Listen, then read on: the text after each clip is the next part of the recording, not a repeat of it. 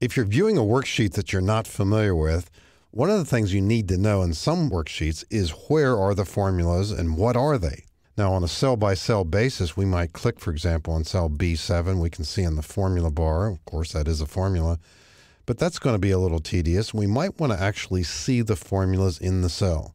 There is a command for this. It's on the formulas tab. It's called show formulas. We can click this. Look what happens. And by the way, note the keystroke shortcut, which we'll get to in a second. It's going to be faster than this, but show formulas does what? It doubles the width of all columns as it exposes formulas. It also left aligns other data. Sometimes that tab isn't present, so getting back to here isn't always as fast as it might be. What's this control business, and what's that shortcut that we see out there? You can barely see it. Right here on the screen, I put this here on purpose. The symbol that we see, and let me zoom in on this, is a tilde on top of what is sometimes referred to as an accent grave. And on most keyboards, this is in the upper left-hand corner, below Escape and above Tab and to the left of the number one on most keyboards. By holding down Control and pressing this key, no Shift key is involved, you get the same effect, and it's very fast. I use this very frequently. Anytime I'm looking at a worksheet I'm not too familiar with, I want to see where the formulas are, I'll press this combination, and it's also a toggle which will take us back to a normal view. So as I press this now, I'm holding down control, not the shift key, but pressing the key that's got the tilde and the accent grave on it to do this. Back and forth, just to show how quickly it is.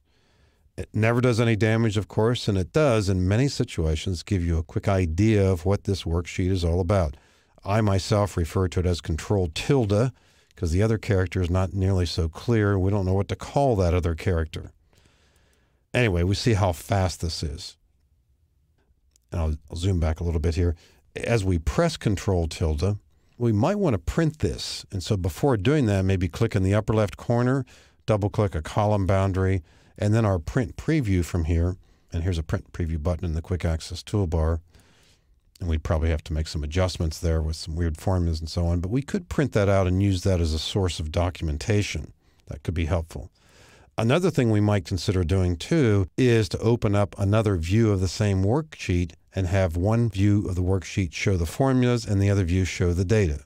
So on the View tab, we could choose New Window, and then on that same tab, Arrange All, stick with Tiled, make sure you check the box if it's not checked, Windows of Active Workbook. Click OK, and now we'll have the two sheets side by side and make one of them show, if it isn't already, show the data and the other one show the formulas. Sometimes it's handy to work with the two side by side that way.